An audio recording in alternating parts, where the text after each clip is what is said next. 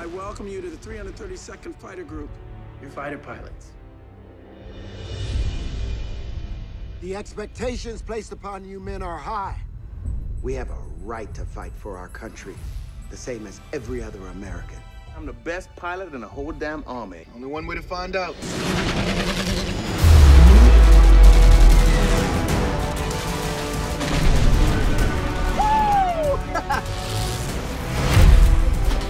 We're given hand-me-down planes, We're losing them! feel like I'm flying my grandfather's Buick. hoping that we would just limp along and go away. We will not go away.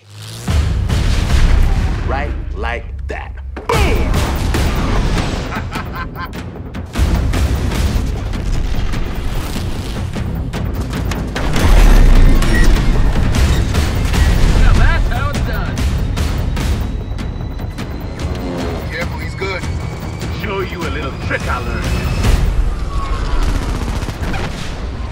How do you do that? To the last bullet, to the last minute, to the last man, we fight! We fight! We fight! We fight! We fight! We fight!